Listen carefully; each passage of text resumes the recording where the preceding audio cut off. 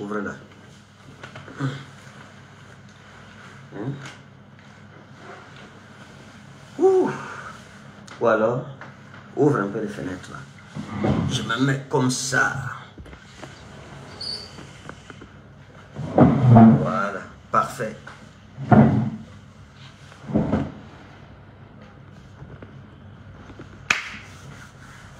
Là, c'est comment? C'est bon? Bonjour Fa, Farafei, Namfei, Petroni. Ça, c'est un nom très puissant. Bonjour Titiana, Malaysia. Avec les femmes qui ont le nom ce matin, c'est des noms très très compliqués. Hein? On a encore qui? Suzanne Matsinko. Oh là là. Paul BM Pogba. Bonjour à vous. Roland Nana. Bonjour. Mireille Mbassi. Bonjour. Wow. Chakonte Jessica. Jessica. Pucioli. Bonjour. John Roland. Regarde. Ok, bonjour. Bemadjel Sidonie Almbata. Mbatna. Sarah Rebon. Ah, ça dit des rebondissements. Ah, c'est bien, les rebondissements prophétiques. Que Dieu bénisse Sarah Rebond. Suzanne Manga, welcome. Adeline Christelle, welcome. May the Lord bless you in the name of Jesus. We love you so much. We love you. Thank you, Father. You are great. Apporte-moi ma tasse de thé là-bas. Voilà, bien aimés, nous sommes dans la ville de Tchang. Nous sommes à Tchang. Partageons la vidéo. Tchakunte, Jessica, Pucioli, vous êtes tout frais ce matin. Merci. La fraîcheur là, vraiment. Ok. What What do you What do you Pételo. Tu m'apportes un peu l'eau là, je vais compléter. Voilà, nous sommes, nous venons d'arriver à Tchang, nous bénissons le nom du Seigneur. Père, merci pour la sécurité pendant le voyage. Merci pour ta faveur, merci pour ta main, merci pour ta grâce. Merci pour la santé, merci pour la vie, merci pour les mouvements, merci pour l'être que tu nous donnes. La grâce d'annoncer la bonne nouvelle aux nations. Seigneur, sois béni au nom de Jésus. Donc, bien aimé, tout juste dire à tous les habitants de Tchang, nous sommes dans la ville de Tchang. Bénissons le Seigneur. Ça sera très fort. Nous commençons ce soir à partir de 17h, 16h, dans la maison du parti de Tchang. La maison du parti de Tchang. Qu'est-ce qui fait ça Hein? Donc, dans la maison du parti de Tchang, nous commençons ce soir à partir de, de 17 et de 16h. Soyez là à 16h pour avoir une bonne place. Je vous dis la vérité tous mes bien-aimés qui sont connectés en direct, quel que soit ton pays, je répète encore, quel que soit ton pays, si tu as la foi, tu verras ce que la main de Dieu fera pour toi. Nous sommes des prophètes, mes amis. Bonjour Marlène Chouchou. Nous sommes des prophètes. Et, j'ai l'habitude de dire que Dieu ne sort pas les prophètes pour rien. Un mot dans ta vie et la solution est assurée. Il dit par un prophète ou benabi, par un prophète, l'éternel Oh Katiwaish, bonne arrivée, que Dieu bénisse. Euh, depuis les îles là-bas. Il dit par un prophète, Israël fut appelé hors de l'Égypte. Et par un prophète, Israël devait une nation. Ouais. Donc quand on parle de Israël fut appelé hors de l'Égypte, il s'agit de sortir de la servitude. Donc je ne sais pas quelle est la situation que tu es en. Nous allons prier, tu vas sortir de cette situation. Et à tous les habitants de la ville de Tchang, la main de Dieu sera puissante ce soir. Redoutable. Partage la vidéo s'il te plaît. Partage la vidéo, mais il fait frais ici. Partage la vidéo s'il te plaît. Envoyons des cœurs, des pouces bleus. C'est parti pour trois jours de délivrance prophétique dans la ville de Chang. Après Chang, nous irons à Yaoundé pour la continuation, la continuité du culte avec service téléphonique. Service prophético-téléphonique. Bonjour à Sophie Glory. Bonjour à Eliane Véron Mbala. Que Dieu vous bénisse au nom de Jésus. Dimanche passé, on a commencé avec le service prophétique, le service photographique, je voulais dire. On a commencé et c'était extraordinaire. L'introduction, je pense que c'était expérimental et c'était bien. Si tu as manqué dimanche passé à la bire à Yaoundé, bien aimé, c'est que toi, tu n'aimes pas ta propre vie.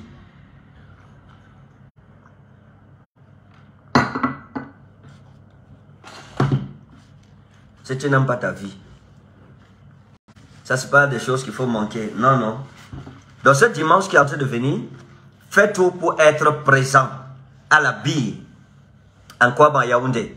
Viens avec les photos des personnes qui te sont chères.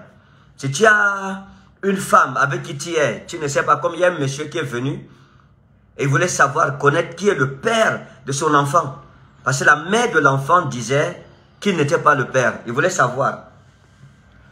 Et on lui a révélé l'identité de la personne. On a dit la vérité, ce qu'il devrait savoir. Donc si tu as une femme, tu as les enfants, tu ne connais pas leur père. Et tu veux savoir, apporte-moi les photos dimanche, on va prier ensemble. L'Esprit de Dieu agira. Bonjour la prophétesse Grâce. L'Esprit du Seigneur Jésus-Christ agira et la révélation te sera donnée. Que Dieu te bénisse. Parce que vous savez qu'il y a des femmes qui, la nuit, la nuit où, euh, merci, la nuit où elle a été fécondée, hmm, elle ne sait pas si c'est Pascal, si c'est André ou bien si c'est Paul. Parce que cette nuit a été une nuit de graves activités. Voilà, donc elle a été en activité. C'est-à-dire, les activités étaient au, au plus haut point. Donc, à partir de ce moment-là, euh, elle a besoin d'un prophète. Dans tous les cas, c'est juste pour vous dire que tu as quelqu'un qui a des problèmes, viens avec sa photo, on va prier. C'est ton mari, tu veux savoir si tu te trompes ou pas. C'est des exemples que je donne, je ne dis pas qu'est-ce qu'il faut faire. Mais si tu m'apportes ce dossier, je serai heureux de les résoudre dans tous les cas. Franciane de la Guadeloupe. Shalom Daddy, une prophétie pour moi, papa. Ah, la Guadeloupe. J'ai mon bien-aimé, l'évangéliste JP Makanzo, avec son épouse, Maman Makanzo, qui sont en Guadeloupe. Et Dieu est en train de faire des choses dangereuses là-bas. Pour le peuple. Des choses extraordinaires. Extraordinaires, je vous assure. Nous bénissons Dieu pour cela. Donc vous voyez, mes amis, nous sommes dans une saison où tu dois profiter. On a fait le culte avec service des photos et c'était extraordinaire. Service prophétique sur les photos. Ah non, non, ça sera terrible ce dimanche. C'était introductif, c'était l'incipit dimanche passé. Ce dimanche aussi, ce sera l'introduction. On va entrer en profondeur. C'est moi-même qui vais te dire sur la photo le nom de la personne qui est sur ta photo. Tu viens avec et on prie, on apporte la délivrance. Oui, si tu as quelqu'un qui est malade, qui traverse des moments difficiles, des enfants qui sont de l'autre côté, quel que soit le problème de la personne, sur la photo, viens, on va prier. Tu vas avoir une révélation sur la personne. Est-ce que c'est mon mari? Est-ce que c'est ma femme? Est-ce que mon mari me trompe? Est-ce que ma femme me trompe? Dans tous les cas, moi je pense que c'est un peu ça. Juste un mot et Dieu manifestera sa gloire. Car je veille sur la parole de mes serviteurs, les prophètes, pour l'exécuter. Et après cela, nous irons en Côte d'Ivoire le vendredi 21 avril. Nous serons dans l'auditorium de la salle à Snepsi. Vous savez, mes amis, j'ai compris une chose, j'ai compris que Dieu, Dieu de préparer quelque chose de grand pour mes sorties internationales.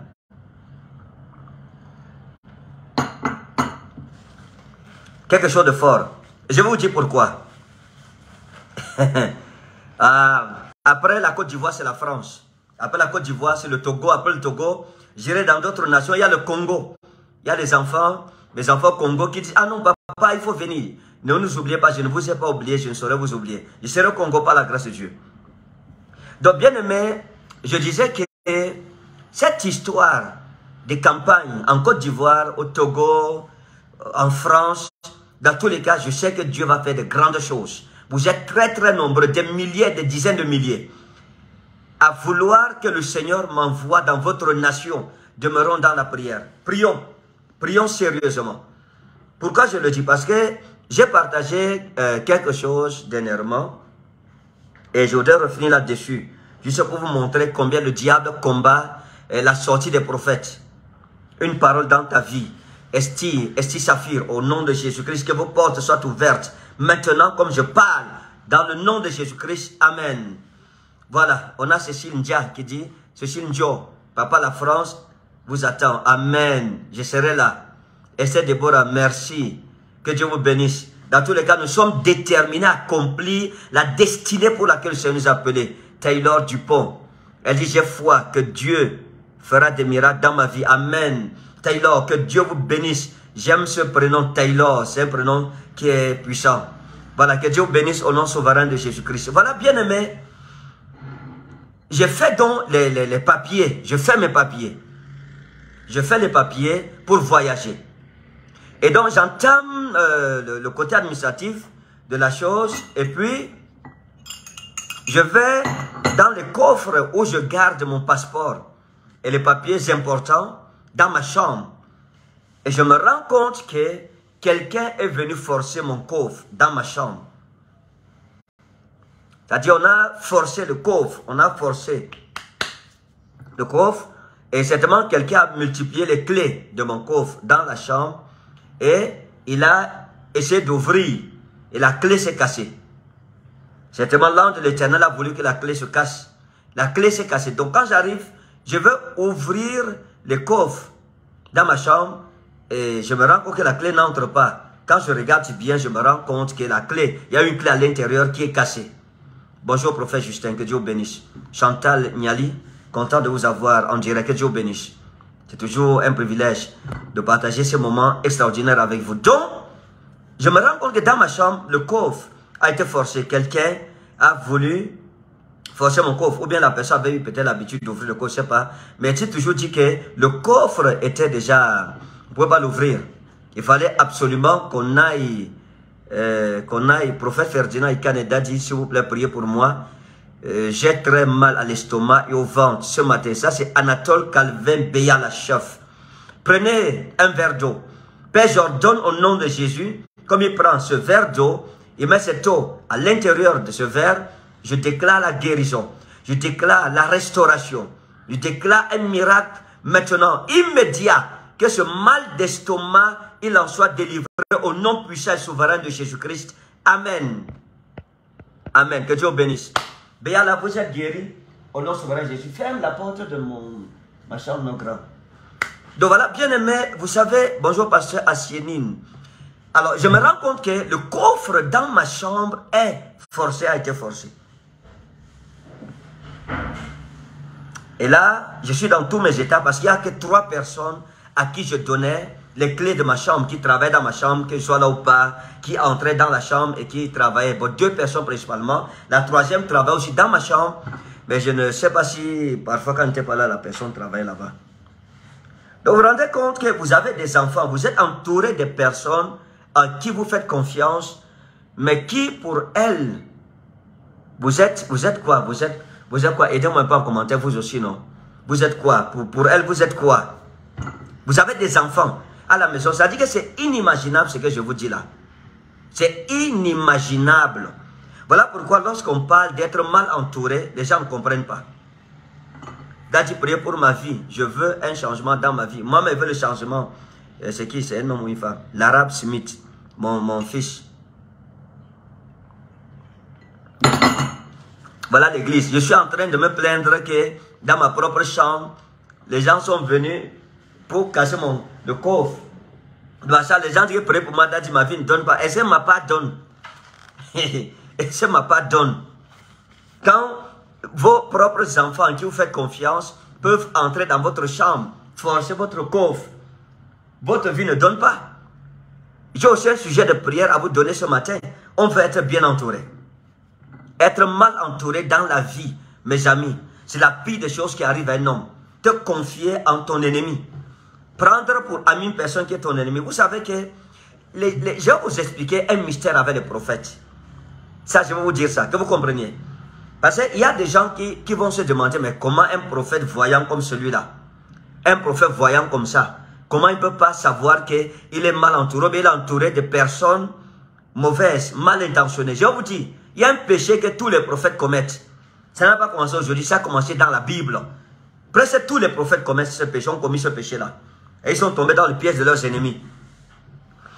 Vous savez, la familiarité aveugle, même le plus grand prophète. Bonjour, prophète Moïse. Hein? Prophète Moïse peut confirmer ça. Hein? La familiarité. Lorsqu'un prophète, c'est-à-dire, euh, est entouré et en contact avec des personnes qui lui sont familières, les antennes prophétiques s'endorment. C'est-à-dire que la confiance prend le dessus sur l'intention prophétique.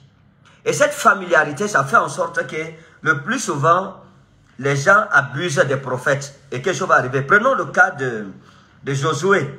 Josué qui parle avec Dieu. Mais dans l'histoire des Gabaonites, la Bible explique que les Gabaonites sont venus et Josué a cru. Il a cru lorsque les Gabaonites lui ont, lui ont dit, sans chercher à consulter l'Éternel. Parce que nous ne consultons pas l'Éternel pour notre entourage immédiat. C'est ça les prophètes. C'est ça le point des prophètes. On ne consulte pas l'éternel. C'est-à-dire, parce qu'on se sent en sécurité, on n'a pas besoin d'activer le prophétique en nous. Donc ça fait que les paraboles prophétiques sont éteintes, elles ne sont pas allumées. Et c'est là que le problème se trouve, c'est là que le bas blesse. On a trompé Josué dans l'histoire des Gabaonites. C'est le lendemain qu'il se rend compte que, wow, wow, donc c'était nos ennemis qui sont venus. Ils se sont déguisés. Ils se sont déguisés. Voyez. Pourquoi la familiarité? Il n'a pas consulté l'éternel. Parce qu'on ne consulte pas souvent l'éternel sur des personnes pour qui on fait confiance. C'est quand tu te sens en danger, tu te sens menacé, que tu consultes Dieu. Que tu refais le manteau du prophétique pour comprendre. Vous allez voir que la plupart des prophètes, hier j'étais en train de recevoir un témoignage. Prenons d'abord l'histoire de papa David Oyedepo. Papa David Oyedepo, sa femme a failli mourir, il y a cela quelques années, deux ans en arrière. Sa femme a failli mourir. On la perdait. Pourquoi? Parce qu'ils ont pris une fille comme ménagère à la maison. C'était une sorcière. Et c'est elle qui a failli emporter la femme de papa David Oyedepo de Wina Chapel. C'est une affaire qui a chauffé. Je pense peut-être elle m'a écrit un livre sur ça. Je crois, hein, je pense bien. Je ne suis pas trop sûr. Mais c'est une histoire qui est vraie. Comment papa David Oyedepo pouvait-il amener dans sa maison quelqu'un comme ça, une sorcière, sans le savoir? Parce qu'il a baissé la garde. Quand un prophète baisse la garde, son entourage peut définir plus qu'une vipère pour lui. Jésus-Christ, c'est ce Judas Iscario, un de ses proches qui le vend. C'est sûr qu'on disait à Jésus qu'il te vole, mais Jésus dit, ah non, non, lui là, il est très calme, il ne parle pas, c'est un gars de confiance, etc. voyez, mais finalement, Jésus a été crucifié à cause de lui. Donc, donc, pour avoir parfois les prophètes, les gens se déguisent en amis. Parce que quand tu vas en ennemi, immédiatement, je consulte Dieu sur toi. C'est ça le problème. Quand vous regardez dans les Saintes Écritures, on me racontait l'histoire de Papa Johnson Suleiman. J'ai un frère qui allait au Nigeria chez Papa Johnson Suleiman. Il va là-bas, vous connaissez Papa Johnson Suleiman, c'est une autorité spirituelle mondiale en ce qui concerne le prophétique aujourd'hui. Donc il arrive, il y a un de ses pasteurs assistants. Mon bien-aimé là, mon frère cause avec lui. Il cause avec lui. Et puis, voici ce que l'assistant du, prophète Johnson Suleiman lui dit. Car tu sais, les gens là vraiment, ils sont trop chiches. L'homme là est trop chiche. Il mange l'argent avec, sa femme. Seul. Il ne nous donne pas pour nous aussi. Il ne partage pas ça équitablement. Donc nous sommes obligés de voler. Et il lui dit que tu vois, tout le monde ici là, on volait. Hein. Il y a des gars qui ont construit leur maison avec l'argent de l'église s'ils ne connaissent pas. Et c'est la vérité. Et l'apôtre Johnson Suleiman lui-même a rendu témoignage un jour que quand ces yeux se sont ouverts, la plupart de ceux qui travaillent dans le département des finances avaient déjà bâti leur maison, d'autres avaient construit des immeubles en location, et ils avaient leur voiture, ils venaient en voiture. L'argent de l'église qu'ils volaient. Mais il n'a pas su pourquoi, jusqu'à ce qu'ils achètent les terrains et bâtissent des maisons, la familiarité. Il leur faisait confiance. Il ne pouvaient pas croire que deux pouvaient venir le danger. À cause de cela, donc, ils refusaient d'interroger Dieu à leur sujet. C'est ça le problème. Si tu ne consultes pas Dieu, c'est parfois rare que Dieu vienne révéler au prophète si le prophète n'a pas, pas consulté Dieu. Là aussi, c'est ça. Dieu peut se révéler sans qu'on l'ait consulté. C'est vrai quand il y a un danger, quand la vie du prophète est mise vraiment en danger, ça c'est clair. Mais sur certains problèmes, certaines choses secondaires, le plus souvent, Dieu reste tranquille, attend que tu viennes lui poser des questions. Donc il faut que les gens comprennent cela, mes amis. Donc mon coffre a été touché. Et là, je suis très énervé, je suis hébété, je suis ahuri, je suis hurluberlué, je suis luluberlué, je suis estomaqué, je suis, euh, que dirais-je, Je suis, je suis euh, voyez, complètement désemparé. Parce que je n'arrive pas à croire que ceux qui m'entourent continuent à faire des choses comme ça, qu'il y ait des gens, malgré ce que leurs yeux voient, malgré ce que leurs oreilles entendent, qu'il y ait encore des personnes dans mon entourage à qui je donne accès à ma chambre. c'est pour ça qu'on dit que le mariage est bien. Je vous dis la vérité. C'est ça qu'on dit que le mariage est bien. C'est que le mariage est important. Ça, il ne faut pas jouer avec. Le mariage, c'est important. Le mariage, c'est très important. À l'époque, personne ne pouvait entrer dans ma chambre. C'était interdit. Mais maintenant, malheureusement, je suis comme je suis, c'est devenu compliqué. C'est très compliqué. Tu es obligé de dépendre des gens. et les gens sont bandits. Ils ne craignent pas Dieu. Ils, n'ont pas, ils, pas connu Dieu. Quelqu'un m'a dit que comment vos enfants ne craignent pas Dieu? Certains de vos enfants, j'ai dit que quelqu'un qui ne connaît pas Dieu va craindre Dieu comment? Comment tu peux, tu peux craindre ce que tu ne connais pas? La crainte de Dieu, il faut d'abord le connaître avant de le craindre. Donc, donc vous imaginez, vous avez des enfants qui ont toute l'apparence la piété, mais qui renient ce qui en fait la force, à savoir Jésus. Ils sont à l'église tous les jours avec toi. Mais leurs yeux sont affûtés pour voler. Ils convoitent les biens matériels, les biens de la terre. Or, quelqu'un qui peut te voler peut te tuer. Ça, c'est clair, il peut te tuer. Donc, et là, je me demande, ah, qu'est-ce qui va se passer? Je suis très énervé. Je n'arrive pas à croire que ceux en qui je fais confiance me, me fassent encore des choses comme celle-là, qu'on aille forcer mon coffre. Et là, j'ai trois personnes devant moi, quatre même. Et il faut aller en prière. Ce lendemain, peut-être le lendemain que je vais, je dis au Seigneur, qui a fait cela? Et le Seigneur me dit, c'est telle personne. Et je vois la personne.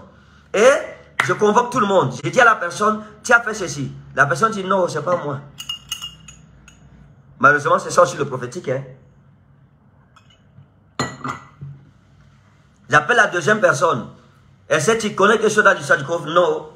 Tout le monde a nié que c'est pas moi. Je leur ai dit, ah, c'est sûr que ce sont les anges qui sont venus casser. Ou bien les démons. Ou les sorciers. Vous voyez. Donc mes amis, quand j'ouvre dans le coffre, je trouve qu'on m'a enlevé le passeport. On a retiré mon passeport. Dans où je suis, j'ai plus de passeport. On a retiré mon passeport. Et malheureusement, avec mon programme qui est aussi très, très euh, successoral et successif, là maintenant, je, dois finir ici, rentrer, me battre pour avoir le passeport. Sinon, je ne serai pas en Côte d'Ivoire, je ne serai pas au Togo, je ne serai pas en France. Mais j'y serai. Il n'y a pas de problème, le Seigneur est bon, il est vivant. Vous voyez. Donc, je leur ai dit que vous voyez, la lèpre de Géasi s'attachera à la personne qui a fait ça. Vous êtes fini. Vous êtes fini. Je vous dis la vérité. La plupart des hommes de Dieu, la plupart, nous sommes entourés des païens. Que Dieu nous sauve, que Dieu nous délivre. On est entouré des païens. Des païens, vous ferez confiance aux gens comment? Vos propres enfants vont faire des faux comptes en votre nom pour escroquer les gens, draguer les femmes, faire des choses ignobles avec votre nom. Et certaines personnes ne croient pas que ce n'est pas vous. Je confie mes téléphones aux enfants, mais ils en font plutôt bon usage, entre guillemets, à leur façon. Et si je prends mon téléphone, je me rends compte que mon fils se développait dans mon téléphone. Le gars se développait. Ouais, des fils dangereux. On, voyageait, on allait en mission un jour.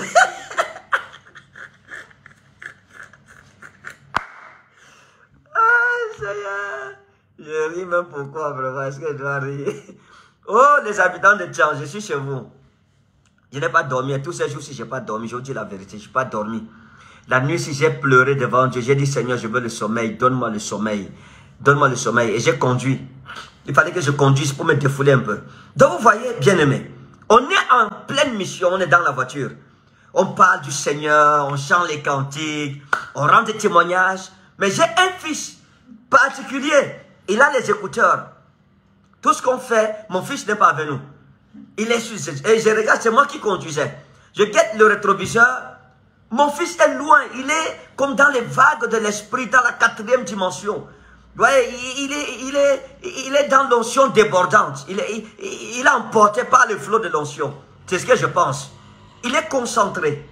Il est même quelque part consacré à ce qui le concentrait. Et j'ai demandé dans mon cœur, Seigneur, qu'est-ce qui concentre ton serviteur, mon fils, au point où on adore, il n'adore pas? On loue, il ne loue pas. On rend témoignage, il ne rend pas témoignage.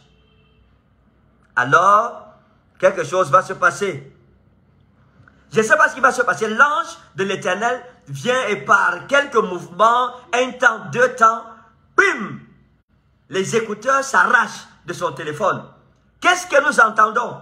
Je vous en épargne. Ah non, je m'en répands. Je vous en épargne pas. C'était quoi qu'on a entendu? Oui, bébé, aïe, aïe, oui, bébé, vas-y, vas-y. Oh, plus vite, plus vite, plus vite. Oh, oh, oh, oh, oui, oui, vas-y. L'homme de Dieu était en train de suivre le porno dans ma voiture. Que oui, aïe, bébé, vas-y. Ouh, ouh, c'est bon. Oui, vas-y. Dans la voiture. Maintenant, quand vous avez... Et on partait pour une campagne. Ah, vous allez comprendre pourquoi. Quand vous êtes en campagne, votre équipe vous amène plutôt à reculons. Parce que dans l'esprit, ce n'est que le pornographique qui est plein dans la tête. Pas le Saint-Esprit, mais c'est le pornographique, vous voyez. Donc, quand vous entourez ce genre de personnes, vous irez où? À moins que ces gens se répandent pour abandonner ces voies tortueuses, pour s'attacher au Seigneur Jésus. Donc c'est ça. La plupart des grands hommes de Dieu, je vous dis la vérité, ils sont en danger, ils sont entourés des bandits. Je donne mon téléphone à, mes équipes. Je récupère le téléphone sans avertir. Ok, donne-moi le téléphone, donne-moi le téléphone. Je prends le téléphone, je trouve que l'enfant se développait dans mon téléphone. Il draguait les filles à gauche, à droite.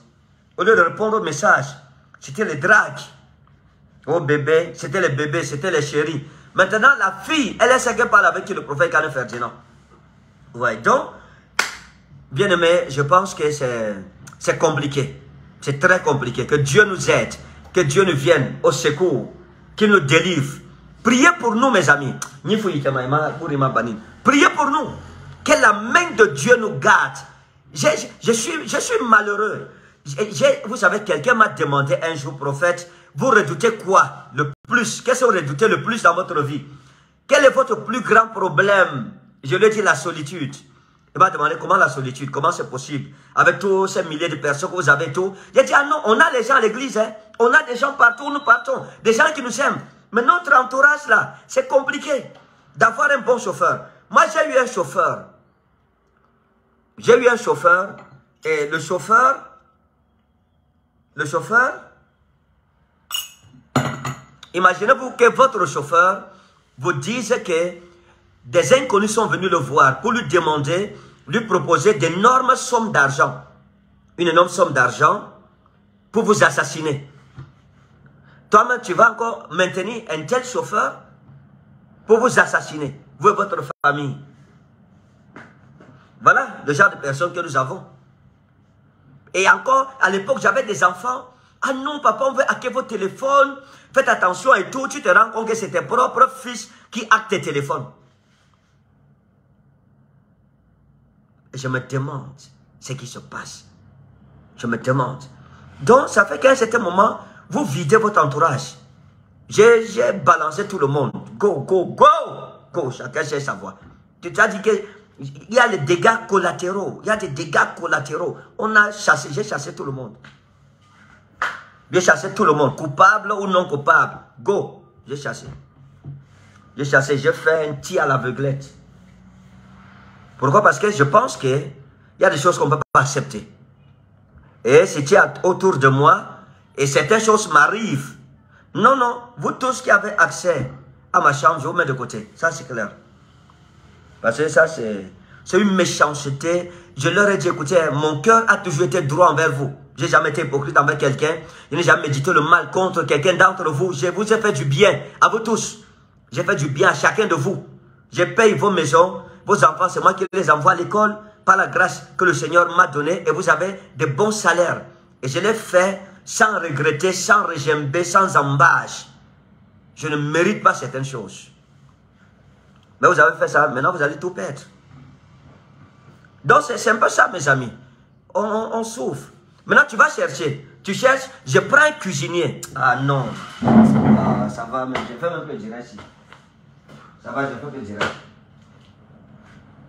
Je ne fais, plus le direct là, ça va. Ça va.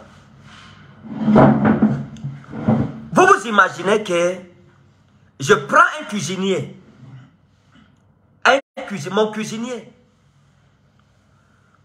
On travaille, on travaille, on travaille. Mais les choses disparaissent à la cuisine. Bon, mais ton cuisinier te dit, c'est pas moi. Tu lui fais confiance. Et bon, tu te dis, bon, peut-être c'est la souris qui a volé, la mamite, qui a vidé la viande la nuit et tout ça. Donc, autant de choses en fait. Et un jour, le cuisinier me sort la facture.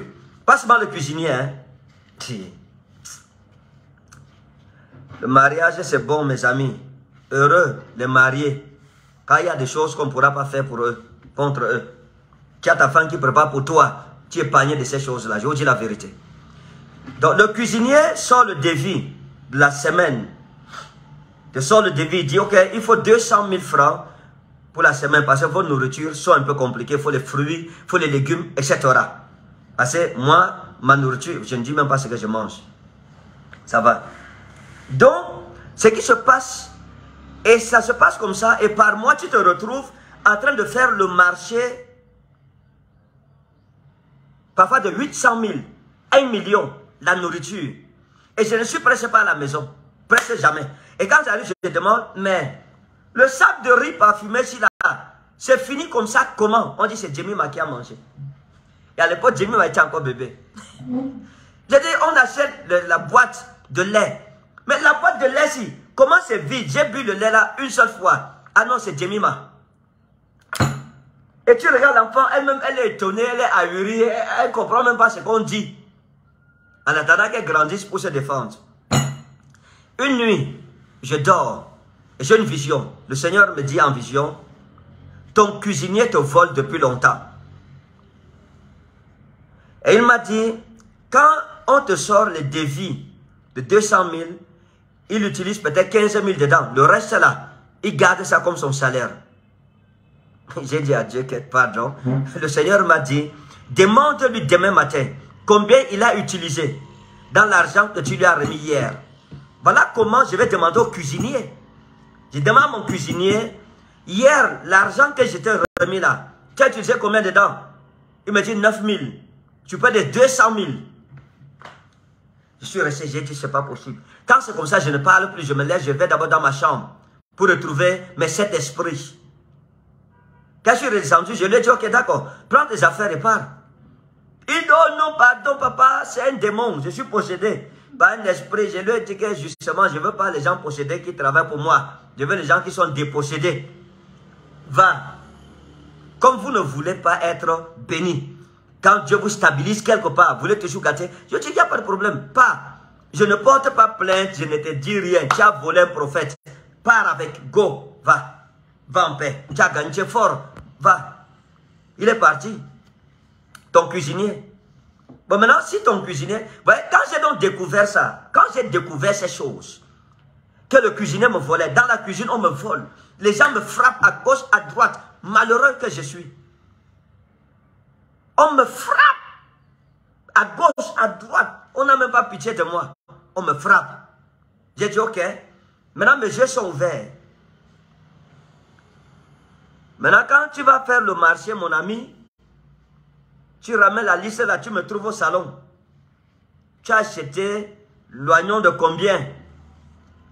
Vous savez qu'après que tout, que je me sois séparé de ce cuisinier et consort, j'ai découvert que avec 500 francs, je pouvais faire rationner ma maison et on mange 2-3 jours, mes amis. J'ai découvert avec 1500 maintenant. Maintenant, quand tu me demandes, c'est moi-même qui décide. Je, donne, je te donne 150. Que va, achète l'oignon, 25. Le poivre, poivre blanc, de 10 francs. Tu achètes, tu achètes, euh, quoi encore? La tomate, 50. Moi-même, je calcule maintenant. Et tu peux au marché. Et quand tu finis, tu reviens, tu me trouves. Montre-moi la facture. Comment est-ce qu'on en arrive là? Vous travaillez avec des gens. Quelqu'un qui te vole peut t'empoisonner. Parce que c'est quelqu'un qui calcule ton bien, le matériel, les finances. C'est dangereux lorsque vous êtes avec une personne, des gens qui ont les yeux sur ce que vous possédez, et non pas sur ce que vous êtes, mais sur ce que vous, vous, avez. Ces gens peuvent vous empoisonner, mes amis. Non? Vous imaginez que vous arrivez à un niveau où oh, le cuisinier vous sert à manger. Vous lui dites viens manger avec moi, mon fils. Viens, on va manger ensemble, ne t'en fais pas. Parce qu'il est écrit, partagez-en entre tous. C'est l'écriture, c'est la loi et les prophètes. À ça, on mange. L'autre avait dit que non, vraiment, moi, les gens nourriture, si je m'en laisse, le docteur avait mange pas. Je lui ai dit que l'onction de Dieu dans ma vie te couvre, mangeons. J'envoie une de mes filles m'acheter de l'eau à boire. Elle va, elle achète de l'eau à boire. Elle revient avec cette eau à boire. Et bon, elle vient avec l'eau à boire.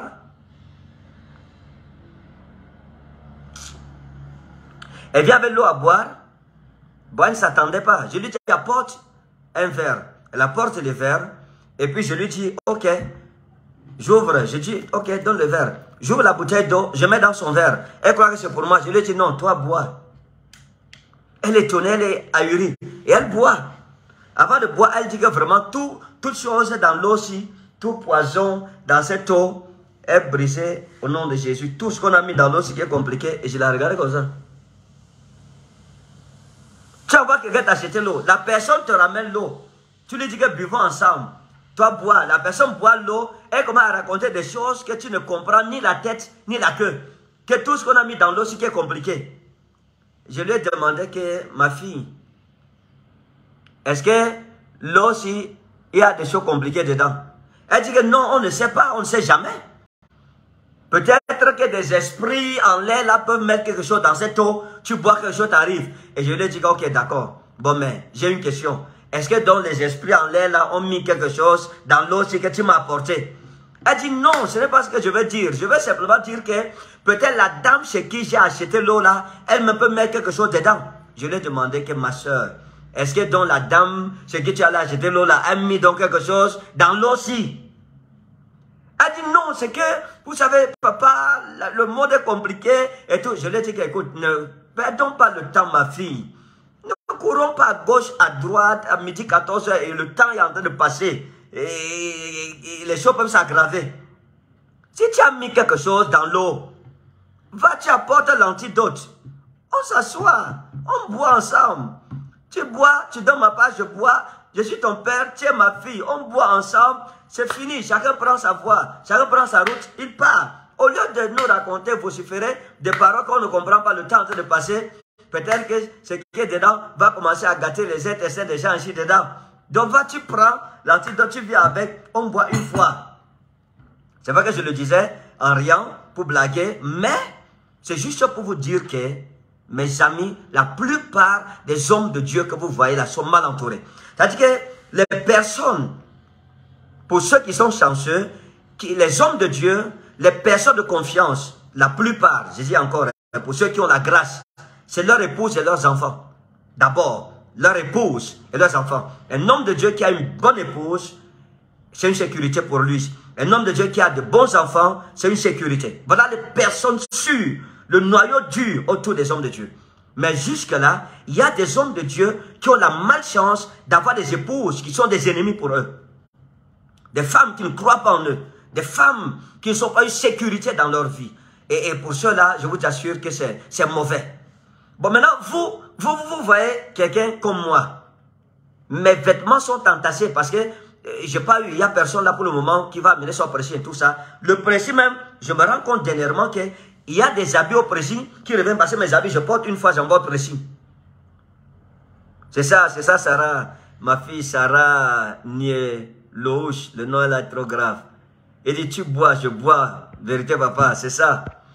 Donc, mes amis, le précis, je me rends compte que l'habit revient, ça sent la sueur. Donc même au précis, les gars sont malhonnêtes. Malhonnêtes. Donc quand l'habit est propre comme ça, les gars ne lavent pas. Hein. Ils nettoient seulement ça, ils repassent, ils renvoient. Donc mes amis, c'est pour dire que priez pour vos hommes de Dieu, nous souffrons. We are suffering, nous souffrons. On a entouré des cupides, l'esprit de Géasi l'esprit de Gazi. Demandez ça à n'importe quel homme de Dieu, il vous dira la même chose. Les gens qui nous frappent, c'est nos fils. Voilà pourquoi aujourd'hui, lorsque j'ai un travail à faire, dès que tu te présentes, tu dis que je suis né de nouveau, je fais trois pas en arrière. Trois pas en arrière, pas de sécurité. Dès que tu dis que je suis un enfant de Dieu, hey, je suis ça d'abord. Parce que les enfants de Dieu sont devenus les plus grands bandits ici dehors. C'est sérieux, mes amis. Ceux qui disent, j'ai Dieu, j'ai Dieu là. J'ai vu que c'est même ceux qu'on taxe des païens, que nous disons qu'ils n'ont pas Dieu, qui sont plus sincères, qui sont plus vrais même. C'est-à-dire que bon, pas qu'ils sont justes complètement, mais ils sont plus justes que ceux qui prétendent avoir Dieu. Ceux qui vont à l'église là sont parfois plus dangereux que les sorciers dehors là-bas. Mais je prie au nom souverain de Jésus pour ta grâce. Je vais dire à tous les habitants de Tchang, nous sommes dans la ville de Tchang. Sur Apun, tu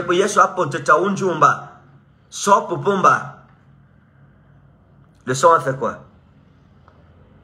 Que Dieu vous bénisse. Tous les habitants de Tchang, la maison du parti de Tchang, ce soir, à partir de 16 h Soyons là, les malades, soyez là. Quel que soit ton problème, tu souffres des oppressions nocturnes, ta vie est dans des combats, tu, sens que tu n'es pas à ta place, s'il te plaît, ne manque pas ce soir. Nous allons prier. Il y aura des délivrances prophétiques. On va commencer brutalement ce soir. Les maladies que tu portes, spirituelles, mystiques, normales, on va prier. Maladies curables, incurables, on va prier pour ça. Viens avec les photos des personnes qui te, sont chères, tes enfants, etc. On va prier. Je ne suis pas venu perdre le temps des habitants de la ville de Tchang. Je suis venu apporter la délivrance dans le nom puissant et souverain de Jésus. On aura trois jours. On aura trois jours ensemble. Donc lundi, mardi et mercredi. Donc sois là ce soir. Quel que soit ton cas, tu souffres des oppressions nocturnes, tu sens que ta vie est bloquée. Euh, dans tous les cas, la nuit, tu ne dors pas. Les couches de nuit, les repas de nuit, les morts que tu vois dans la nuit, euh, les, les, animaux mystiques, etc. S'il te plaît, sois là. Toi qui es en direct, qui souffre de ces choses, je veux prier pour toi maintenant. Une parole et le Seigneur te bénira. Une parole, une parole, une parole. Il y a quelqu'un qui a dit en tout cas prophète. En tout cas prophète, ça c'est Bert Ndilim. En tout cas prophète. Mais vous avez oublié quelque chose. En tout cas, bonne nuit. Donc dans tous les cas, que Dieu vous bénisse. Au nom souverain de Jésus-Christ de Nazareth. On va prier ensemble. Père, je prie au nom de Jésus. Laisse-moi en commentaire ton sujet de prière, je t'en prie. Et ce soir, sois connecté. À 16 heures, on va prier ensemble. La parole qui sortira sera pour ta délivrance, pour ta restauration, pour ton rétablissement, pour ton relèvement. Oh, Dieu le fera. Ce qui est mort ressuscitera. Jésus-Christ a dit, zoé. Je suis la résurrection et la vie. Si quelqu'un croit en moi, il vivra, même s'il était mort. Tout ce qui est mort en toi reprend vie ce matin dans le nom puissant de Jésus. Que sa puissance redoutable se manifeste dans ta vie maintenant. Quelle que soit la maladie dont tu souffres, je commande la guérison, la guérison, la guérison. Reçois ton miracle au nom puissant de Jésus. Je déclare que la main de Dieu soit forte dans ta vie. Reçois une visitation puissante. Alors je parle. Les anges te visitent et te sortent de cette prison et de cette oppression diabolique au nom puissant de Jésus. La douleur disparaît. Ceux qui sont programmés pour des opérations, j'ordonne que l'opération soit annulée, que ton mariage soit restauré, ta vie sentimentale bénie, tes finances bénies, ta vie spirituelle bénie, ton ministère béni, une révolution prophétique dans ton ministère reçoit au nom de Jésus-Christ. Amen. Je serai pas la grâce de Dieu en France. Ils auront une grande nuit de prière le 25 euh, dans la salle euh, Nova, voilà. 8 rue. 8 rue. 95. 95. Bah, je vais revoir ça. Le soir, je vais encore bien annoncer. Regardez sur ma page, il y a une annonce. Et faites attention. Tout, dit quand vous une page au nom du prophète de Ferdinand, regardez le nombre d'abonnés.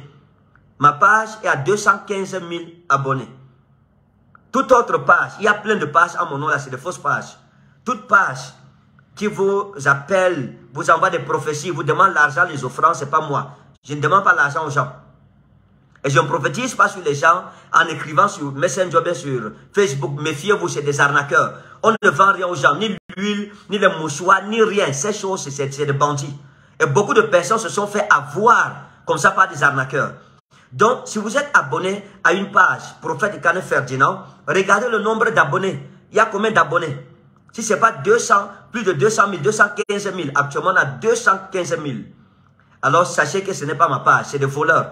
Ils vont vous écrire, ils vont vous demander des, demandes d'amitié, ils vont vous demander ça va ma fille, ils vont vous donner des numéros WhatsApp qui ne sont pas mes numéros WhatsApp. Et puis vont demander de l'argent, de des contributions pour la campagne, pour la France, etc. Je ne demande pas de contributions comme ça. Non, mes amis. Suivez-moi en direct, en live comme ça. Si je ne donne pas un numéro de ma propre bouche, méfiez-vous. Méfiez-vous de tous les autres numéros qu'on peut vous donner. Donc, la main de Dieu, sa grâce, soit sur votre vie, au nom souverain de Jésus-Christ de Nazareth. Rendez-vous ce soir à partir de 16h. Tous les habitants de Tchao, je vous attends très nombreux. Je suis déjà dans votre ville avec mon équipe. Nous avons hâte de vous retrouver tout à l'heure dès qu'il sera 16h. Que Dieu te bénisse au nom souverain de Jésus de Nazareth. Amen.